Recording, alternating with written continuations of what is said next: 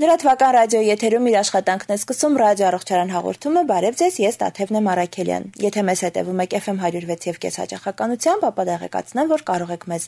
լսել եւ դիտել նաեւ լրատվական կետեմ հարթակում աճեր հյուրընկալել եմ բժիշկ ակնաբույժ Արփինե Գալստյանին շնորհակալ եմ բժշկուի մեզ մոտ լինելու համար հաջողի ձեզ տեսնել ես եմ շնորհակալ հրավերի համար խոսել ենք մեր առողջության մեր աչքի առողջության մասին ու ամենակարևորը պետք է հասկանանք թե երբ է պետք դիմել ակնաբույժին որպեսզի պահպանենք ոչ միայն գեղեցկությունը մեր աչքերի, հային բնորոշ գեղեցկությունը, այլ նաև դրանց առողջությունը։ Շնորհակալ եմ հարցի համար։ Տաթևյան նախ ակնաբուժի պետք է դիմել, սկսենք երևի մանկական հասակից երեխան երբ 3 ամսեկանում արդեն սկսում է ֆիքսել խաղալիքներ, առարկաներ, ծնողները պետք է ուշադիր լինեն, եւ եթե երեխան չի ֆիքսում առարկաները կամ սխալ է հետևում առարկաների շարժումներին, պարտադիր պետք է դիմեն ակնաբուժի, այնուհետև կան 4-5 տարեկան հասակում սկրինինգներ, որոնք երեխան պարտադիր պետք է անցնի եւ գալիս ենք դպրոցական հասակին, դպրոցական տարիքում, երբ երեխան գրում է կամ կարդում է, գրելուց կարող է տողերը խառնել, վերև ներքև գրել, կարդալուց տողեր բաց թողել, ծնողը պետք է անուշադրության չմատնի այդ փաստը եւ ուշադրություն դարձնի անպայման դիմի ակնաբուժի եւ անհասիկների մոտ նաև նորածինների մոտ անցնում են որոշ սկրինինգներ ըստ հայտնաբերված պաթոլոգիայի դիմում են ռետինոլոգների եւ արդեն նրանք են զբաղվում այդ անհասիկներով Իսկ մեծերի դեպքում յուրաքանչյուր անհատ պետք է տարին 1 անգամ դիմի ակնաբուժի 1-2 անգամ կախված խնդրից եւ արդեն իսկ դիագնոզված ախտորոշված որոշ հիվանդությունների դեպքում ըստ տվյալ ակնաբուժի ցուցումներով դա կլինի 1 ամիս, 3 ամիս, 6 ամիս, ըստ խնդրի, այո, կարող է դիմել, պետք է անցնել սկրինինգ հետազոտությունների։ Սովորաբար մենք մտածում ենք ակնաբուժի մասին երեխայի դեպքում, երբ պարտադիր այն նախադպրոցական տարիքում մանկաբույժը ուղղորդում է դեպի ակնաբույժը, բայց փաստորեն դրա մասին պետք է մտածել ավելի վաղ։ Այո, 3 տարեկանից, 3 ամսեկանից, երբ արդեն երեխան սկսում է ֆիքսել խաղալիքները, պատկերները, առարկաները, շատ հաճախ երեխան չի ֆիքսում կամ սխալ է ֆիքսում, ծնողը պետք է ուշադրություն դարձնի եւ անպայման դիմի ակնաբուժի։ Սա է գիտություն։ Ձեր ռադիոլսողներ հիշեցնեմ ձեզ, որ դուք կարող եք զրուցակցիս հետ կապ հաստատել զանգարելով 055 53 86 87 հեռախոսահամարով։ Եվ արդեն միջանկյալ մի հարց եմ ուզում տալ։ Սովորաբար օրինակ ստամատոլոգների դեպքում գոյություն ունեն եւ մանկական ստամատոլոգներ եւ մեծերի։ Ակնաբուժների դեպքում եւս այսպես տարանջատված է, թե յուրաքանչյուր ակնաբուժի կարելի դիմել։ Ինչ խոսք բժշկության մեջ յուրաքանչյուր մասնագիտություն տարանջատված է եւ մեծերի եւ փոքրերի, ակնաբուժությունը եւս տարանջատված է մեծերի եւ փոքրերի եւ նշեմ ես ի սկզբանե ընդունվել էի մանկական ակնաբուժություն, այնուհետև փոխել եմ մեծերի ակնաբուժություն եւ կարող են դիմել ուղակի ակնաբուժի, եթե խնդիրները հա, բացահայտի ակնաբուժը արդեն կուղորթի մանկական ակնաբուժի մոտ։ Այսինքն առաջին, այսպես խորհրդատվության համար, առաջին օգնության համար կարելի է յուրաքանչյուր ակնաբուժի մոտ լինել։ Միանշանակ կարելի է։ Ըստ արդեն դեպի նեղ մասնագետ։ Այո, բայց եթե երեխաներ են ցանկալի է, որ մանկական ակնաբուժ նայի։ Ահա շատ լավ։ Մեր այսօրվա կենսակերպը կարծես թե ամեն ինչ անում է, որ բոլորս ունենանք տեսողության հետ խնդիրներ։ Եթե հաշվի առնենք, որ մենք բոլորս օրվա մեծ մաս անցկացնում ենք համակարգչի, գadget-ի, հեռախոսի, հա, հետ դրան գումարած նաև այսպես բոլորի մոտ գրեթե հիվանդություն է դարձել, հա, գիշերային ժամերին պարկած վիճակում անընդհատ հեռախոսների հետ լինել, մինչև քնելը։ Ոստի մենք կարող ենք ասել, որ տեսողության հետ խնդիրները եթե ոչ բոլորին գոնե ամեն երկրորդին այսպես հատուկ են սա արդեն այլ հարց է թե ինչ մակարդակով եւ ինչ խորությամբ բայց որ յուրաքանչյուրս ունենք ակնաբուժի կարիք դա արդեն իսկ փաստ է հա դրան գումարած նաեւ գրեթե բոլորիս մոտ հատուկ է նաեւ աչքի չորությունը հա այո մանավանդ այն մասնագետները, ովքեր հիմնականում աշխատում են համակարգիչների հետ, բոլորն էլ գանգատվում են այս սինդրոմով։ Խնդրում եմ այս մասին, հա, ձեր դիտարկումները, ինչ կարելի անել եւ ինչի մասին է ահազանգում այս խնդիրը։ Բարի, շատ կարեւոր հարց է։ Մենք ապրում ենք մի ժամանակաշրջանում, որ բոլորը կապված են թե համակարգիչների հետ, թե գadgetների հետ։ Նույնիսկ կախվածություն ունեն։ Այո, նույնիսկ կախվածություն։ Դուք ասացիք երեկոյան ժամերին գիշերները հեռախոսի հեռախոսի մեջ մտնել չի կարելի, հատկապես մութ սենյակում դա վնաս է աչքի։ Բայց եկեք համաձայնենք, որ բոլորս բոլորս անում ենք, բայց մութ սենյակում գոնե չէ, որովհետև մութ սենյակում չի կարելի, առավել վտանգավոր է։ Իսկ չոր աչքի համար կասեմ, որ իրոք շատ տարածված է համակարգչային աշխատողների, օֆիսային աշխատողների մոտ, երեխաներով շատ բաներ կարող են վերել չոր աչքի սինդրոմի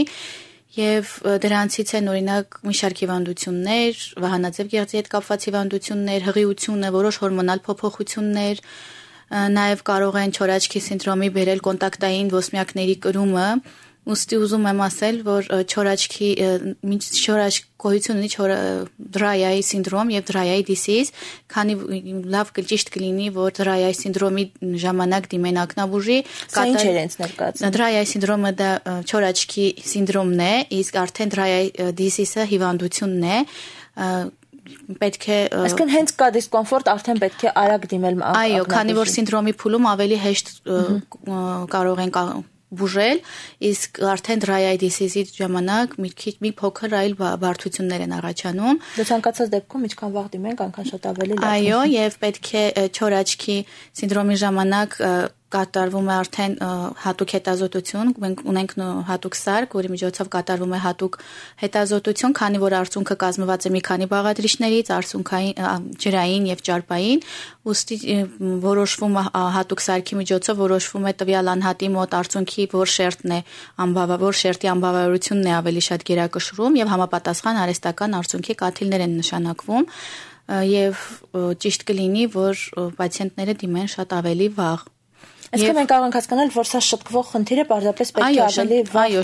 շտկվող խնդիր է եւ պետք է ուշադրություն դարձնեն, չանտեսեն եւ խորհուրդ կարամ այսպիսի տամ օֆիսային աշխատողներին, համակարգչով շատ զբաղվողներին, մոտի վրա շատ աշխատող անձանց, որ կիրառեն 20-20-20-ի կանոնը։ Դա Իրանից ներկայացնում է, որ յուրակ աշխատելու ընթացքում յուրաքանչյուր 20 րոպեն նայել 20 20 մետր հեռու 20 վայրկյան տեղովությամբ, այսինքն 20-20-20, որը շատ հեշտ է հիշվում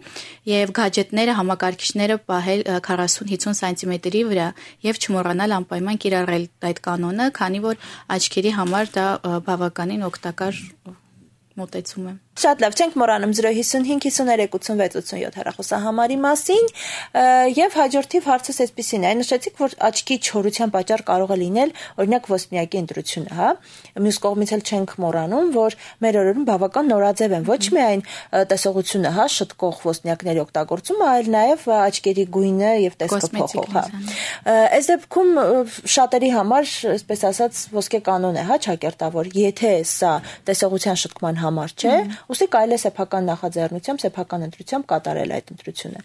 որը նաև պետք է փաստենք բավական լուրջ խնդիրներով է հղի։ Այ խնդրեմ այդ մասին խոսեք։ Այո, իհարկե, կոսմետիկ լինզաները զուտ գեղեցկության համար յուրաքանչյուր ոք կարող է ինքն իր համար ընտրել, բայց խորհուրդ կտամ միանշանակ ընտրել որակյալ ոսմյակներ, հնարավորինս շնչող։ Ինչի վրա ուշադրություն դարձնել։ Հնարավորինս շնչող ոսմյակներ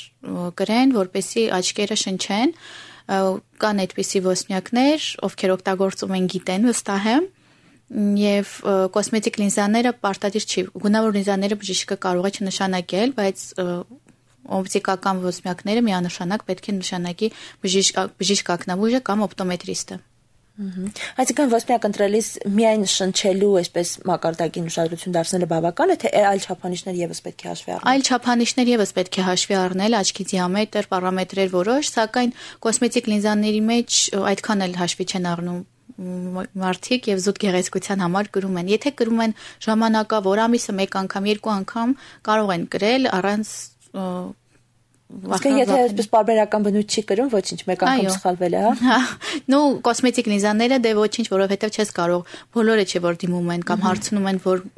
ինչ ինչ տեսակն է ավելի լավ։ Ցավոք սրտի այո։ Խոսենք նաև ակնոցների եւ կաթիլների ընտրության մասին, հա։ Այ բոլորս գիտենք, հա, որ նույնիսկ օպտիկայի խանութում, հա, մենք կարող ենք ձեռք բերել տեսողությունը շտկող ակնոցներ առանց բժշկի հետ խորհրդակցության։ Սա տարածված խնդիր է, սրա մասին մեկ անգամ չէ որ բարձրաձայնել են մասնագետները, բայց միևնույն ժամանակ դեռ շարունակվում է, հա, այս տենդենսը։ Խնդրեմ նշեք, թե այս դեպքում ինչպիսի հնարավոր բարդություններ կարող է մարդ ունենալ, երբ ընտրել է սխալ ակնոց եւ ընտրել է նաեւ սխալ կաթիլներ, որոնք տեղատանը շատ հանգիստ կարելի է ձեռք բերել առանց բժշկի տեղատոմսի կամ խորհրդատվության։ Համաձայն եմ, դա լուրջ խնդիր է մեր օրերում եւ ես անձամբ շատ ներողություն նույնիսկ անցումներում կարելի է ձեռք բերել նման ակնոցներ։ Ես ինքս ունենում եմ շատ այդպիսի պացիենտներ, ովքեր գալիս են եւ նշանակում ոչ բժիշկ է նշանակում ակնոցը, ոչ օպտոմետրիստ, նրանք ասում են, որ գնել են խանութից, օպտիկայից, որտեղ աշխատում են ոչ բժիշկ մասնագետներ, կարող է բերել մի շարք բարդությունների, թե կոնտակտային ոսմյակները, թե ակնոցների եւ անգամ կաթիլների։ Նա ակնոցները շատ կարեւոր է ճիշտ ընտրության հարցում, քանի որ սխալ ընտրված ակնոցը կարող է ել ավելի խորացնել պացիենտի թե կարճատեսությունը, թե հեռատեսությունը։ Ոչ միայն չոքնել, այլ նաև բարդացնել։ Այո, ոչ միայն չոքնել, այլ նաև բարդացնել վիճակը։ Նույնը կոնտակտային ոսմյակները պետք է նշանակի միմիայն բժիշկ ակնաբուժը կամ օպտոմետրիստը։ Իսկ կաթիլների մասին կասեմ մի բան, որ ակնաբուժության մեջ կարող է հանդիպեն ոչ վտանգավոր կաթիլներ, որ կարող է անգամ իմանալ նույն գանգատներն է եւ ես էլ կաթեցնեմ, այ օրինակ չոր աչքի Այո, չոր աչքի սինդրոմի ժամանակ, որ ասացի eye սինդրոմ, այդ դեպքում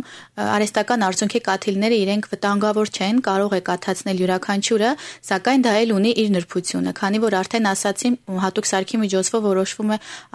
արցունքի բաղադրիչների կոնկրետ որ բաղադրիչն է պակասում, որի թերությունն է տվյալ մարդու մոտ եւ ըստ այդ ցուցումի նշանակվում արհեստական արցունքի կաթիլ։ Այդ դեպքում կարող է ոչ վնաս լինել, այլ պարզապես տվյալ կաթիլը չօգնի այդ մարդուն։ Սակայն ինչ փոքրագույն է։ Այո, սակայն ինչ խոսքան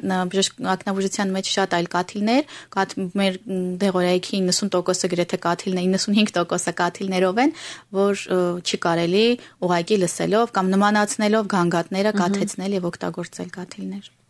Ցավոք մեզ մոտ դեռ պահպանվում է այս այսպես կարծրատիպը, որ եթե այս դեղամիջոցը օգնել է օրինակ ընտանիքի մի անդամի, չի բացառվում եւ նույնիսկ վստահ են, որ այն կարող է օգնել մեկ այլ անդամի, եթե ձեր ասած գանգատները այսպես ասած համընկնում են, հա եւ այս դեպքում մենք կորցնում ենք ոչ միայն ժամանակ բժշկին ճիշտ դիմելու, այլ նաեւ խնդիրը ել ավելի վատթար վիճակում ենք մատուցում, հա, ճակերտավոր բժշկին եւ հետո էլ բողոքում ենք, որ բժիշկը չկարողացավ մեզ ճիշտ օգնություն ցուցաբերել։ Ցավալի է, բայց փաստ սերի ռադիոլսողներ խուսափեք նշված երևույթից եւ ուղակի թեկուս հետազոտման, թեկուս խորհրդատվության համար դիմեք համապատասխան մասնագետների եւ ստացեք ճիշտ խորհրդատվություն։ Այս դեպքում ակնաբուժության դեպքում հա կարող եք դիմել 055 53 86 87 հեռախոսահամարի օգնությամբ զրուցակցից եւ ստանալ համապատասխան խորհրդատվություն։ Ես ուզում եմ խոսենք նորից վերադառնալով հա չորաչքի սինդրոմին, որը որ ինչքան էլ խոսենք հա այս մասին դեռ խոսելու բան ունենալու ենք հա։ մեծ թեմա է։ Վերադառնալով այս թեմային ուզում եմ նաեւ խոսենք այն բարդությունների մասին, որոնք կարող են առաջանալ, եթե մենք դրանց չենք ուշադրություն դարձրել։ Եթե թե ունենք չոր աչքի սինդրոմ, բայց ականջի հետև են գցել եւ հային բնորոշ միջև դանակը ոսկորին չի հասել, չենք դիմել մասնագետին։ Դե արդեն նշեցի, որ պետք է դիմել։ Դա կարող է տեսողության վատթարացում լինել։ Այո, միանշանակ կարող է լինել, պետք է դիմել սինդրոմի ժամանակ, քանի դեռ չի զարգացել dry eye disease, այսինքն հիվանդություն։ Եթե արդեն զարգանում է հիվանդություն, իր հետ կարող է բերել մի շարք այլ հիվանդություններ, կախված եղջերաթաղանթի հետ, կեղացիկներ եւ մի շարք այլ հիվանդություններ ցանկալի է դիմել վաղ փուլերում։ Այսինքն կարող է լինել այնպես, որ դիմի անհատը այն ժամանակ, երբ արդեն օգնել հնարավոր չէ։ Կախված որ փուլում չորությունից չորության դեպքում, եթե զուտ չորություն է, չորաչքի սինդրոմ է, միանշանակ օգնել լինում է հնարավոր է, բայց եթե եթե վերածել է խնդրի։ Նայած ինչ խնդրի, շատ-շատ են ակնավուժությունում խնդիրները նայած ինչ խնդրի զուգակցված այլ ինչ հիվանդություններ նա ունենա։ Ահա, շատ լավ։ Ես ուզում եմ նաև խոսենք այն բոլոր հիվանդությունների մասին, հախնդիրների մասին, որոնցով կոնկրետ զբաղվում եք դուք եւ որոնց բարակայում կարելի է դիմել ձեզ։ Կարող են դիմել ակնոցային ռեֆրակցիոն խնդիրներով, ակնոցային լինզաների կորեկցիաներով, ասիգմատիզմով, բորբոքային հիվանդություններով, կոպերի, կոնյունկտիվիտներով, կերատիտներով մեր կլինիկայում կատարվում են շատ այլ line spectrum-ի վիրահատություններ, միջամտություններ, նախնական ախտորոշման եւ դիագնոզման համար կարող են դիմել յուրաքանչյուր գանգատով, կլինիկ գլաուկոմա, կատարակտ, այնուհետև մենք աշխատում ենք համակցված սկզբունքներով եւ բուժումը կցուցաբերենք։ Այսինքն, եթե մենք կարևորում ենք մեր աչքերի առողջությունը, եթե մենք կարևորում ենք մեր տեսողությունը, ապա այս դեպքում ցանկացած գանգատի դեպքում կամ եթե նույնիսկ չկա գանգատ, բայց չենք ուզում բանը հասնի գանգատին, կարող ենք զանգահարել, մոտենալ, ստանալ խորհրդատվություն եւ ըստ խնդրի արդեն այսպես ասած կուղորթեք այլ մասնագետի, եթե դրա կարիքը կա։ Այո, միանշանակ կարող եք Շատ լավ, սիրելի ռադիոլսողներ, ռադիոդիտողներ, հիշեցնեմ, որ 055 53 86 87 հեռախոսահամարը գործում է, կարող եք զանգահարել եւ ստանալ խորհրդատվություն։ Մի կարևոր հարցի վերաբերյալ եւս ուզում եմ ձեր դիտարկումները նոր հա եզրափակենք հաղորդումը։ Ուզում խոսենք շլության մասին, որը ոչ միայն կոսմետիկա, էսթետիկ խնդիր է, այլ նաեւ հիվանդության մասին է խոսում։ Ինչ կասեք սրա մասին շլությունը այո, եթե դիմեն վաղ փուլերում, ճիշտ ժամանակին դիմեն, ճիշտ ընտրված ակնոցների միջոցով, եթե դա կախված է հիմնականում կախնած է լինում երեխաների մոտ ռեֆրակցիոն խնդիրների հետ, ճիշտ ընտրված ակնոցներով եւ որոշ համակարգչային համակարգչային ծրագրերի միջոցով, ապարատային բուժումներով հնարավոր է լինում անգամ վերացնել շլությունը, եթե նրանք դիմել են ճիշտ ժամանակին եւ խուսափել ամբլիոպիայից, որը աչքի ծուլությունն է, երբ աչքը չի աշխատում, աչք ուղեղ կապը չի զարգանում, այսինքն սխալ պատկեր է ստանում հա, ցանցաթաղանթը եւ այդ կապը աչք ուղեղ կապը չի զարգանում, զարգանում է ամբլիոպիա, որը արդեն անդառնալի է եւ մեր օրերում թե Հայաստանում, թե աշխարհում յուրաքանչյուր տեղ դա արդեն չի բուժվում։ Իսկ երբ կարող է ծնող հասկանալ, որ արդեն վերածել է, վերածվել է այս խնդրին